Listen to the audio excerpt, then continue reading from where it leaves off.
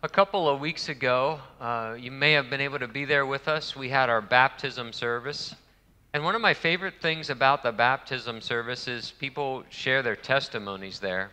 If you had a chance to go down to, to Camp Gideon where we did our service there, you had a chance to listen in on the, the different stories of how people found Jesus. You know, I love to see the differences in their stories, even though they all have a couple things in common Everyone's story is just a little bit different of how they met Jesus along the road of life. Today we're going to talk about the testimony. And if you ask the, the average person on the street what a testimony is, their mind would, would probably go to someone in a courtroom who has witnessed an event. Probably someone who is testifying firsthand to something that they have witnessed.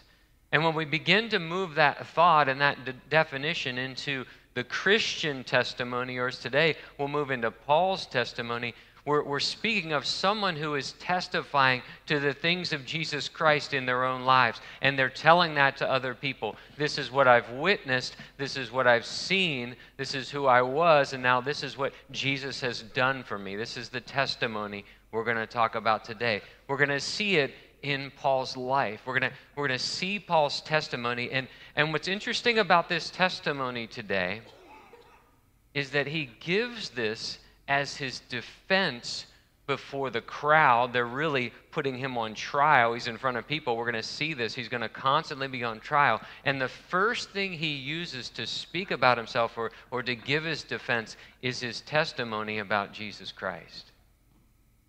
You know, I, I actually love this picture today because we're going to see this picture, and we'll get into that in just a moment. But he, Paul's going to stand before this crowd who is hostile. And a few minutes before, had called for his life and they were beating him. And he's going to stand there before them and speak to them about what Jesus has done in his life. And it's actually going to, follow an outline. I'll give the outline to you ahead of time for those of you who like to write them down. The first point is who Paul was. He tells them who he was. The second point is who Paul found, so who he found. And the third one is who Paul was called to be. So this will be his testimony. This will be the outline of the message today. But this is also Paul's defense before the hostile crowd. Let's pray here as we begin. Lord, we thank you for this opportunity to open up your word. And Lord, we pray over this today. It's a, it's a larger text as we incorporate all of Paul's witness and his testimony here before the crowd in Jerusalem. And Lord, we pray over that as we, as we listen to him tell his story. And Lord, I pray it will impact our own lives. Maybe there's people sitting here that don't know you yet, Lord. May they hear this testimony and come to know you. And Lord, those who do know you, who have begun to walk down that road of life with you, may they be bold in sharing who they were and who they are in you, Lord God, to the people around them. We pray for that, Lord, for that boldness that we'll see here today. In Jesus' name, amen. If you want to follow along, I'm not going to read the whole passage today. Again, this is a larger text today, this testimony that he gives. But it's found in Acts 21, verse 37, and we'll be reading all the way to Acts 22, 21. You can follow along in the back of in the blue Bible that's in the back of the pew in front of you. It's actually on page 931 if you want to follow along that way. You know, it's important to understand the setting, and I, I, gave you just a little bit of a glimpse at it, but I want to tell you the whole picture at this point. For those of you who haven't been here with us in our Acts study that we're walking through this year, so Paul has returned to Jerusalem from his third missions journey. And all along the way, he knows there's going to be difficulty when he arrives in Jerusalem. And when he gets there, that's exactly what he's going to find. Because once he's greeted and a few of the brothers welcome into their homes, there's, there's a rumor that he finds out that's circulating through Jerusalem, even among the believers and even in the temple. There's this rumor circulating about Paul that he has come to destroy all the, the Jewish customs and the law of Moses, that he is out preaching against those things and trying to destroy them. That's the rumor that has been circulating about Paul. And when Paul finds out about this rumor, he, he wants to put that to rest. He wants to prove that all of that is, is false. And so he goes to the temple to try to make sure that this rumor doesn't get out too far, but it's already too late. And when Paul arrives, this, this rumor has gone out before, and, and we talked about this last week. This rumor began with just one person leaning over to another and saying, You know, I have something to tell you about Paul. And we talked about it last week. It's really slander because everything about it is blatantly false. And whoever started it, it was done with an intent to harm. And so, so Paul has gone into the temple area. He was trying to attach himself and show that he was purified. And when he is there, they accuse him of a second thing that he has brought a Greek named Trophimus inside the temple courts, inside the holy place where he's not supposed to be. All these accusations are false. But, but at this point, the, the crowd is so worked up over these two accusations that they begin to form a mob. It's why last week we talked about the sins of the tongue and we talked about them. The, the sins of the tongue are so easily to fall into. You know, we, we wouldn't go out and murder someone tomorrow. And, and we talk about these bigger sins in this world of, of, of hatred and, and bitterness. And, and we talk about drunkenness. And, and we talk about sexual sins uh, all the time. These are, these are what we call big sins. But there's also sins in Scripture, like sins of the tongue, that so easily people can get caught into sins of gossip and of, of slander. And, and we even included flattery last week in the sin of the tongue. And, and I had a lot of people talk to me about this in the last couple days. And so I wanted to make sure we're, we're clear on these that all of those, there is an intent to harm when you're doing them. When we talk about gossiping, it's talking about secrets about someone that actually happened that you really shouldn't be talking about. You, you shouldn't be spreading those around. There's an intent to, to spread word about someone. When we talked about slander, it was something speaking something blatantly false about someone with the intent to smear their character around. That's what's happened to Paul. And we even defined flattery. It's really false praise. We talked about these that last week. You know, James 3 8 to 11 says this But no human being can tame the tongue. It's a restless evil full of deadly poison. With it we bless our Lord and our Father, and with it we curse people who are made in the likeness of God. From the same mouth come blessing and cursing. My brothers, these things ought not to be so. Does a spring pour forth from the same opening both fresh and salt water? This is what we talked about last week. And, and when we left that, I don't want to preach that whole message again, but it was really important. When we left that last week, I, I told you guys this. You know, so often we hear sermons and we say, man, I know a guy sh- who should really listen to that sermon. It's, it's our nature. We, we know someone who's a little worse than us, and we say, man, they should hear that. But I asked you to do this. I asked you to look at that from your own perspective, just from yourself, and inspect your heart. And ask yourself, do I do any of those things? That was what we asked last week because we saw that in our text. The rumor had gone out about Paul, and it caused him so much damage. And when he gets into the temple and they give this second accusation that he's brought a foreigner inside the holy place, they drag him violently from the temple and begin to beat him with the intent of killing him. It all started with a rumor. It all started with one person leaning into another and saying, I have something I want to tell you about Paul. And someone leaning in and telling, saying, Yeah, go ahead. I want to hear about this. That was the story last week. And it led us into this setting of Paul being abused, and, and the crowd is pressing in on him. They're striking him with their fists, they're beating him. He is on the ground at this point, and he's really saved by the Roman soldiers who run out of the Antonia fortress. And when the mob sees the soldiers, they stop beating him for a moment, and the commander grabs him and wants to find out who he is.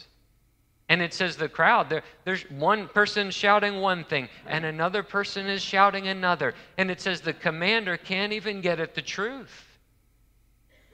You know, isn't that what rumors do? You, you can't even get to the truth, and someone ends up being harmed. That's our story. this is our setting for today when we hear Paul's testimony. The mob is so violent against Paul, it actually says in our text that he had to be carried by the soldiers back to the fortress, back to the barracks, it says. It's the Antonia fortress. They're carrying him. The mob is so violent against him. This is our setting where Paul gives his testimony. I wanted you to have that picture in your mind, especially if you weren't able to be here with us last week. This brings us to our first point because Paul's going to speak about who he was. You know, when we, we talk about a testimony, we've got to begin there who we once were, and that's exactly what Paul's going to do. But at first, Paul has to clear something up. He has to clear, and we'll call this subpoint A, and I, there, it'll be on the screen behind you for those of you who like to take notes. He first has to clear up who he's not.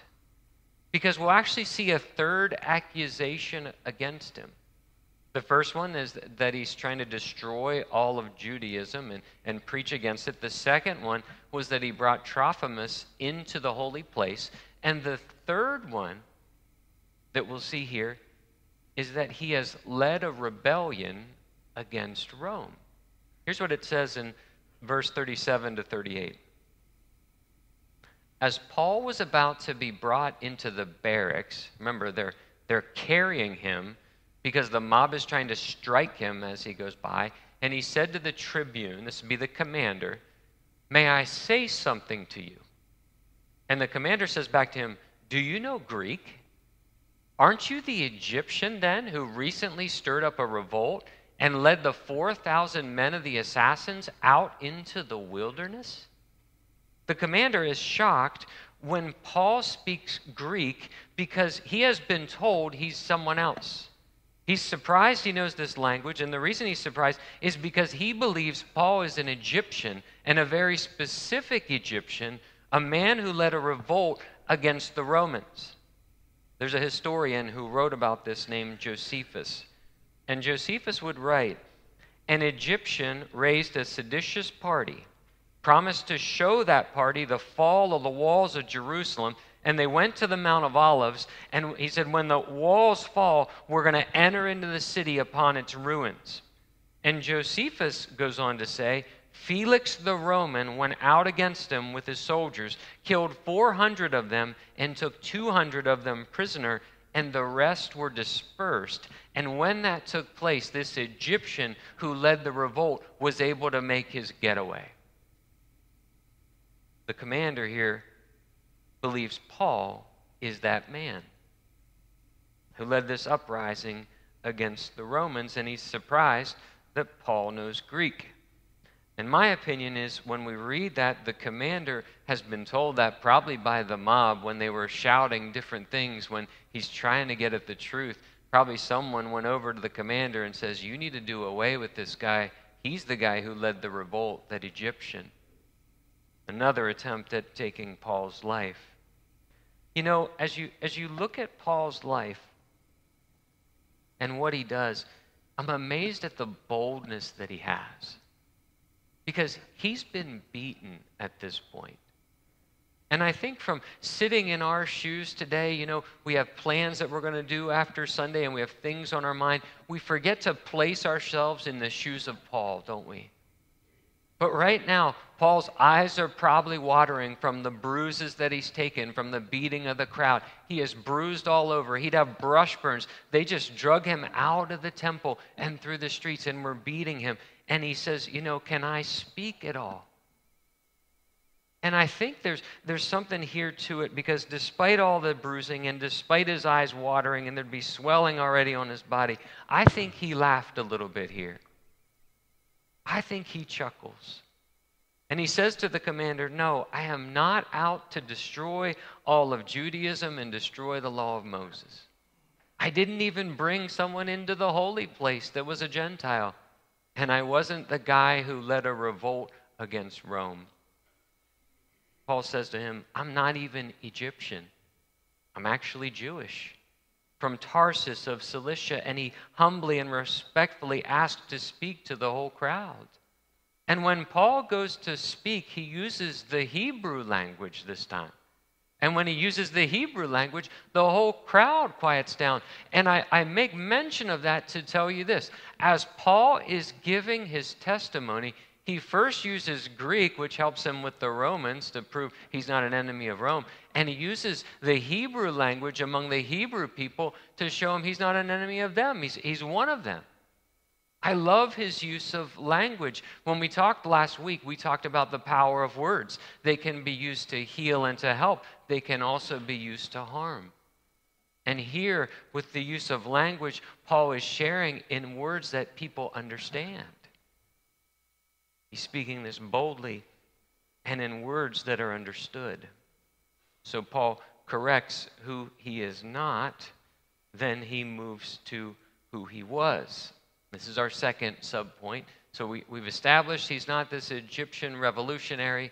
And, and our second subpoint is who he was. And, and I'm going to use one word to describe him because it will come up time and time again in his testimony here.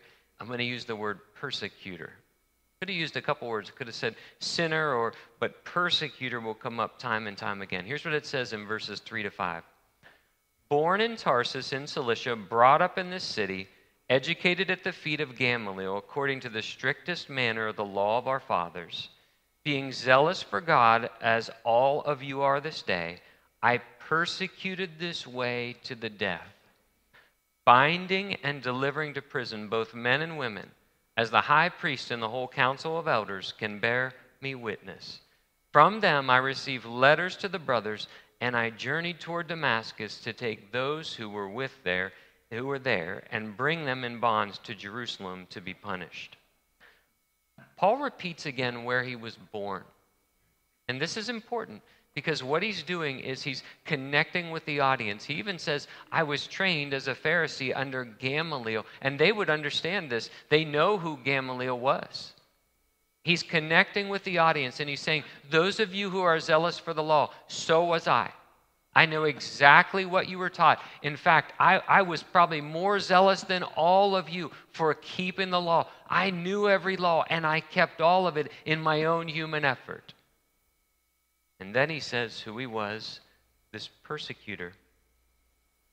And he says, in, in all of my pride of wanting to follow all the law, anyone who wasn't doing, I went out and persecuted them. And he said, I particularly persecuted those of the way. If one of you want to know who I was, you must understand I was a persecutor of Christians.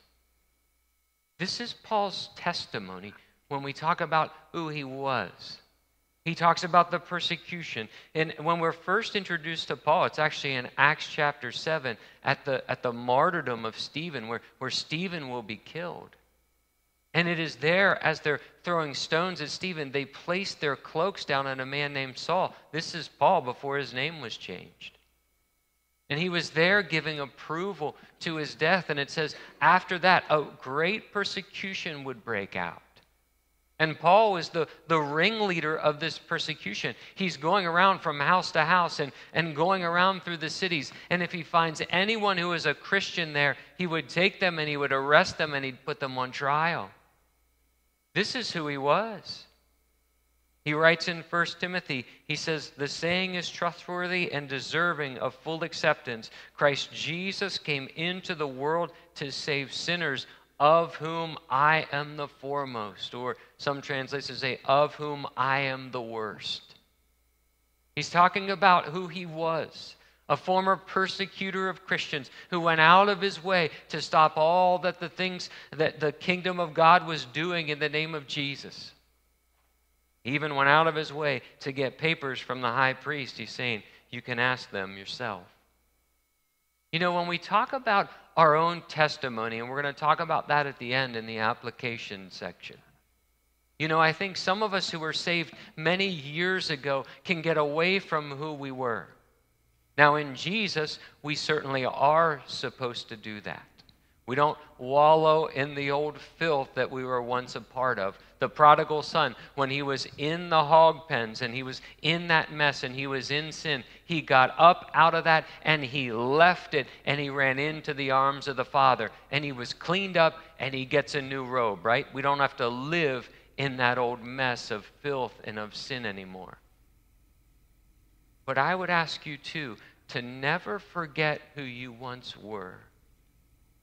Because we look back not with guilt, but with gratitude for what Jesus has done in our lives. I think, I think so many people today live their life in guilt.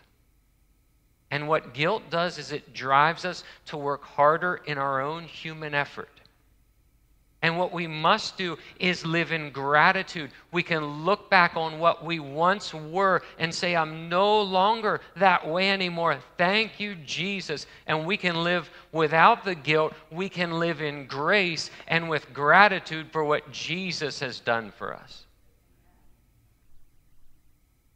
And that's what Paul is doing. He's not going back to the old hog pen of sin. He left that a long time ago and ran into the arms of the Father. He wears a new robe. He's been washed clean. And he doesn't live that way anymore, but he remembers how far he's been taken. No, I'm not an Egyptian terrorist, but I was a persecutor of the way. Paul tells us clearly who he was. And then he moves to who he found. Verse 6 to 8. This is in the 22nd chapter. As I was on my way and drew near to Damascus, about noon a great light shines down from heaven and shone all around me, and I fell to the ground and I heard a voice saying to me, Saul, Saul, remember this is before the name change to Paul. Why are you persecuting me? And I answered, Who are you, Lord? And he said to me, I am Jesus of Nazareth, whom you are persecuting. So he's going the wrong way. He's heading to Damascus to persecute more Christians. And this light shines in from heaven. And he knows instantly it's something from above. Who are you, Lord? He asked the question. I am Jesus of Nazareth. He will have an encounter with Jesus along the road. As I was reading some of the background to the text this week, I was struck by something that was written in Matthew Henry's commentary. It says this in there Condemned sinners are struck blind, as the Sodomites and Egyptians were, by the power of darkness and it is a lasting blindness like that of unbelieving Jews. But convinced sinners are struck blind as Paul was here, not by darkness, but by light. They are for the present brought to be a loss within themselves, but it is in order to their being enlightened, as putting the clay upon the eyes of the blind man was the designed method of cure. You know, that really made me think. I, I, I read that, I was reading some of the history of this, this passage. And it was talking about that, that darkness and the light, and it talks about some people were struck by the light, and it was temporary so that they would come and be able to see.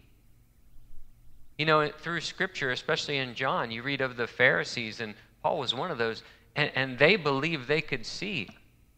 And they had to be taught by Jesus that they were actually blind in the spiritual sense.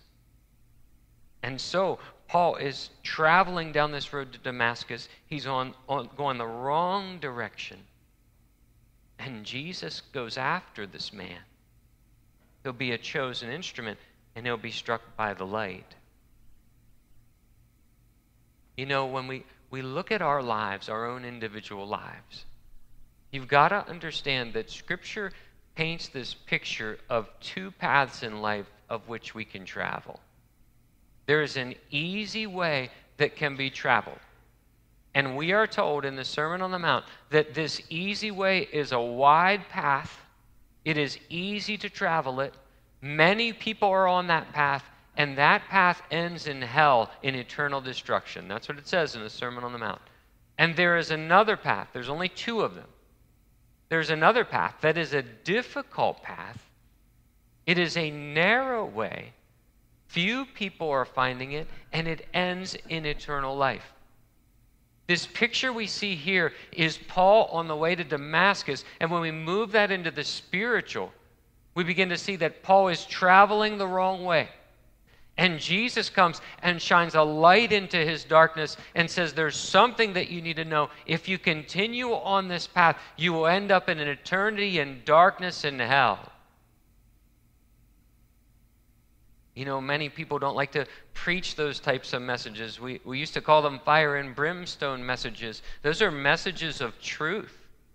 That there are so many people across this nation, if they do not find Jesus, are on the way to hell and eternal punishment. That is very clear in Scripture. But there is another way. And if we find Jesus, as Paul does, and the light shines into our lives, there is another way of which we can travel. It is not the easy way, it is a narrow way, but it is a blessed way in the end for those who go down that path. You know, the other thing I note as we move, continue to move this into our own context today, and many of you have heard Paul's testimony a number of times in your life. And, and if you look at this context, it's interesting to see that some of the people who saw the light didn't really understand what was happening.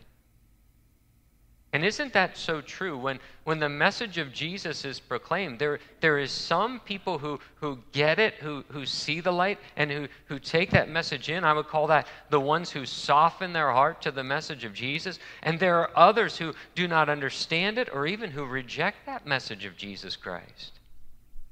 We see that picture as, as the hardening of the heart through Scripture.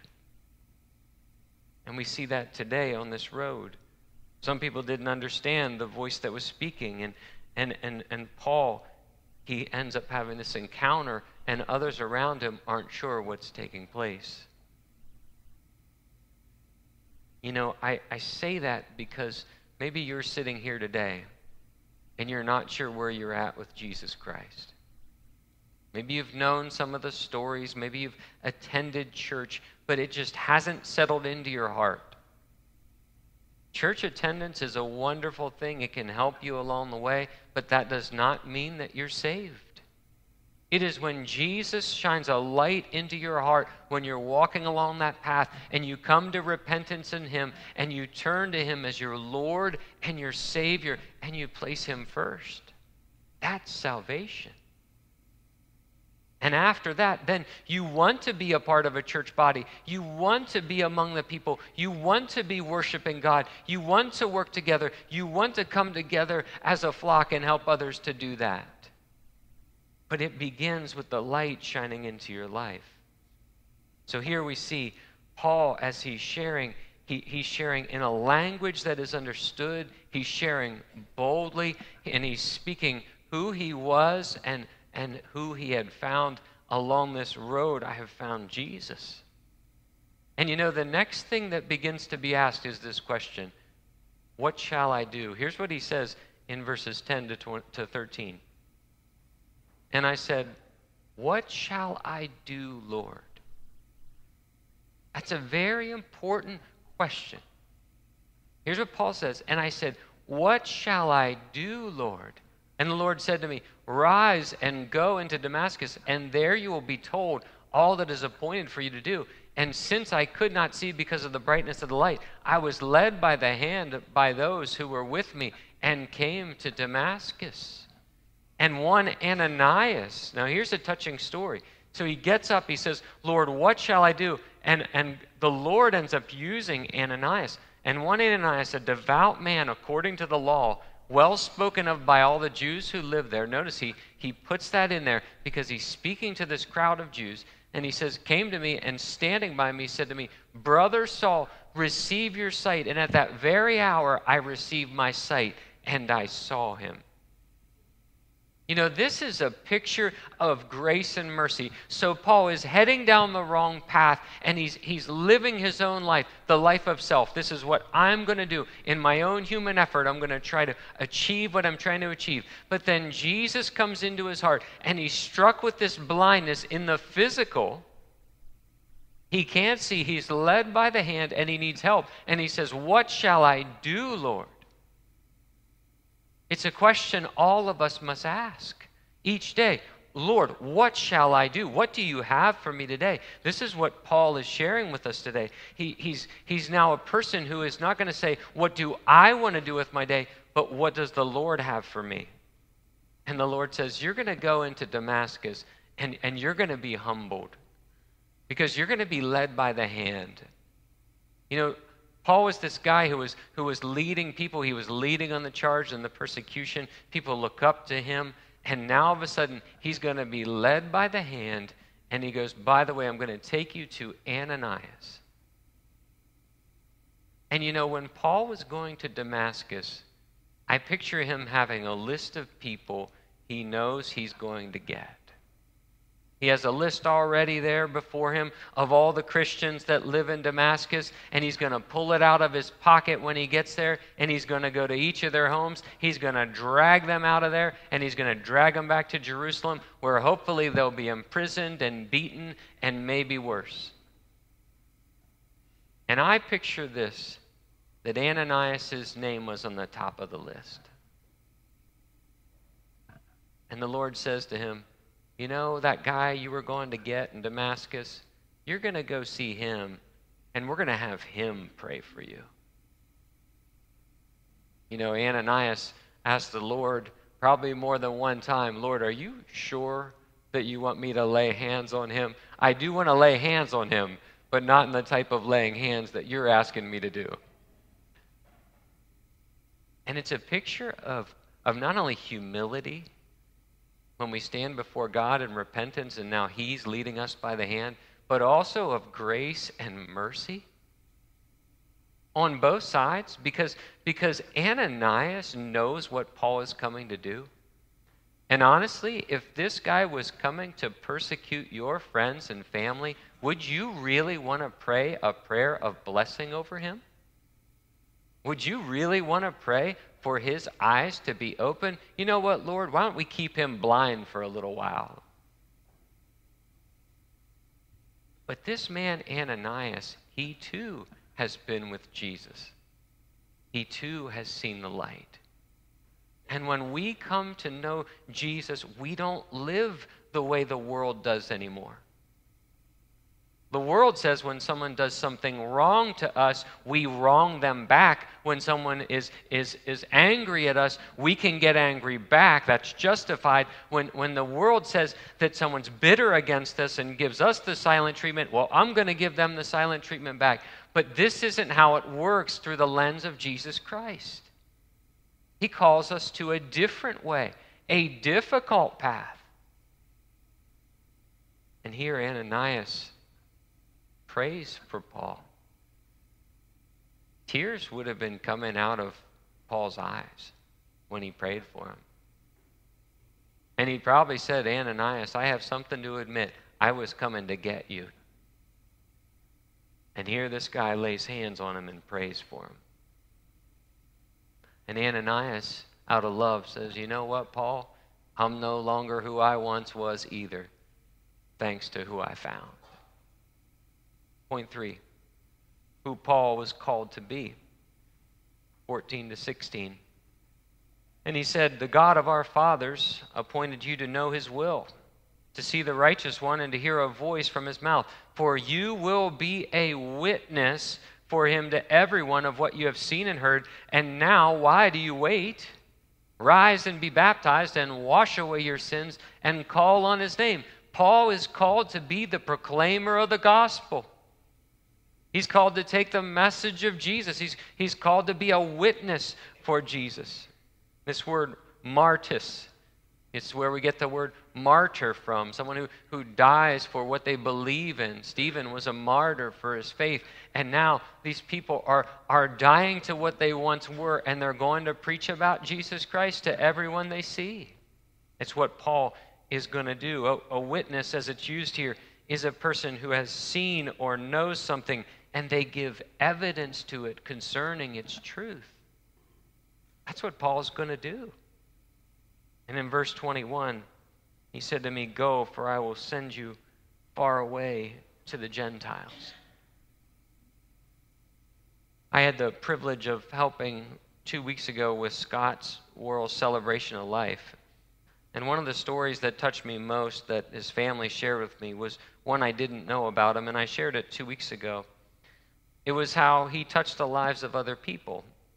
See, when Scott gave his life over to Jesus, he, he was saved out of a world of sin. And, and, and some of the guys that he once knew began to see this life change that was in him, and they, they began to come to church with him as well.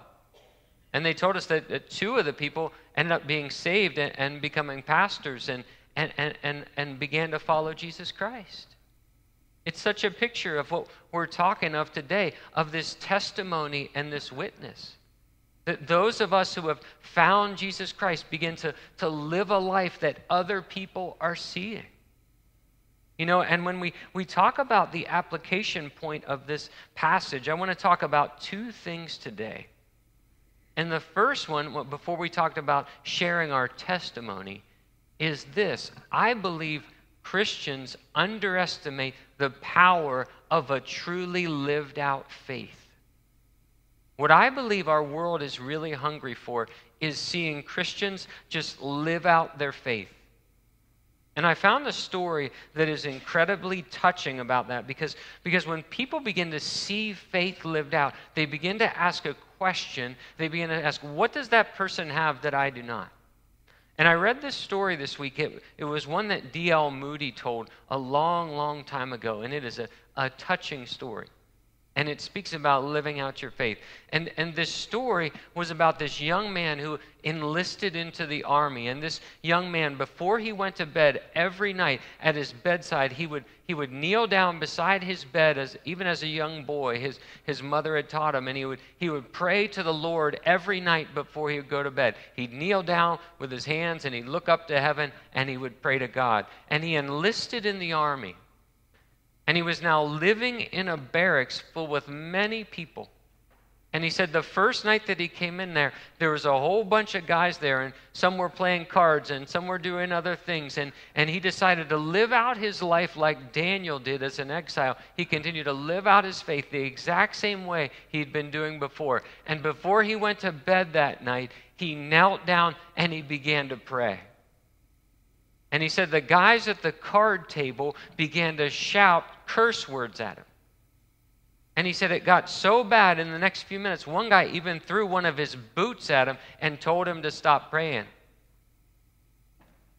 The next night, he decided to pray again. And the same thing happened. And the jeering got a little worse. This got worse and worse for a couple days. And finally, he went to see the chaplain. And he said to the chaplain, I am not sure what to do. And he said, They're taunting me even worse. And the chaplain said, You know, they are entitled to the barracks just as you are. He said, But you don't have to pray in that way. You don't have to pray kneeling and with your hands out and looking up to heaven. He said, Why don't the next night, why don't you just lay in bed and close your eyes and, and pray to the Lord? And so he went, and the chaplain didn't see him for a few months and never heard anything about it. And a couple of, of, of months had gone by, and the chaplain finally sees this young man, and it recalled this story to him. And he says, I need to ask you how everything's going for you. I haven't seen you back. And he said, The first couple of nights I did what you told me to do. He said, I crawled into my bed and I, I pulled my covers up and I just closed my eyes and I, I prayed to God. And he said, After a couple of days of doing that, I felt like a whipped dog. And he said, So I decided it didn't matter to me if they were going to make fun of me for praying in public anymore. And so after that, I decided I was going to kneel down and I was going to pray and live out my faith just like I always had. And the chaplain said, Well, how'd it go? And he said, Well, some things happened over the last couple months, and now everyone joins me in prayer. You know, I think the culture that we live in today, it is difficult to live out our faith. We have tremendous freedom, but it's also challenging. And I believe our world needs to see a faith lived out of grace and love and mercy that points to Jesus Christ. And I believe our world is desperate to see that today. You know, in a world that struggles with truth, we know what truth is. And as much as we say that, that people are moving away from truth, I don't think so. I believe there is a hunger among people across our nation to have the truth proclaimed to them today. There is a hunger for people to simply read the Word of God. That is still there. People talk to me about it all the time. The urgency of getting into Scripture and reading God's Word. The urgency to go out and pray for our friends and our family who do not know Jesus. You know, I believe that sometimes the best witness is the simple things of someone who just loves Jesus and is going to live that out each and every day. The second thing when we talk about our witness, talk about living out our faith, the second thing that we see is the sharing of our testimony.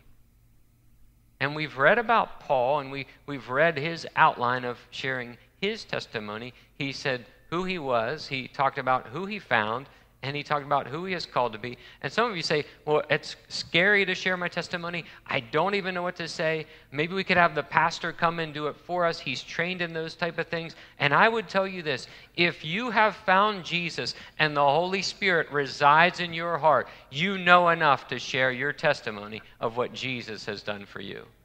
And you can go out in a boldness in that. You know, I think I have it somewhere over here. Matthew 10 20. Paul's actually living this out. When they deliver you over, do not be anxious of what you're to speak or what you are to say, for what you are saying will be given you in that hour. For it is not you who speak, but the Spirit of your Father speaking through you. That's exactly what Paul is living out. If you know Jesus, and the Holy Spirit resides in your heart when that happens, if you know Jesus as your Lord and Savior and you have repented of your sins, you walk in His way, the Holy Spirit is in you and can give you the wisdom to speak. And I'll tell you something very simple that you can say for those of you who still struggle with that. Share who you were, share what you found, and share what God has called you to be. That's all Paul is doing. He stands before this angry crowd who actually wanted him killed and beaten. He stands before them and, and he shares who he was, what he'd found in Jesus Christ, and what God called him to be. That's all he does. And it's something that we're called to do as well. Paul isn't the only one who was called to be a proclaimer of Jesus Christ. Everyone who knows Jesus is called to take that message out. Sometimes we just live it out. Other times it's time to share our faith and say, This is who I found in Jesus. I'm going to have our, our helpers come forward. We're going to take communion today here as we close. And this is something that we do among the body of believers. And if you haven't been here before, the way we take communion is, is that our ushers will, will release you. They'll dismiss a row. You'll come down front. Uh, you'll take a piece of the bread. You'll take some of the juice. And then, so you'll walk down the front aisle. You'll go back to your rows through the outside aisles and sit down. We'll partake together after reading some words together. Um, but that's how we take communion. And we take it very seriously. We're told to examine our hearts before we take communion. And so I, I ask that we do that now. Let me pray over us here. Lord, we thank you for this opportunity to hear your word and to listen to Paul's testimony. And Lord, we are reminded that when we know you and have turned to you, we too have a testimony, and our testimony too is powerful when people hear it. And Lord, I pray over this today and as we as we do something among the body of believers among the family we take communion together lord i pray over this right now i pray over those who who are here i pray for boldness in in sharing their faith and living out their faith today We pray for these things. And Lord, as we partake of communion, let's be reminded of what this truly is. And thank you for what you've done for us on the cross. In Jesus' name, amen.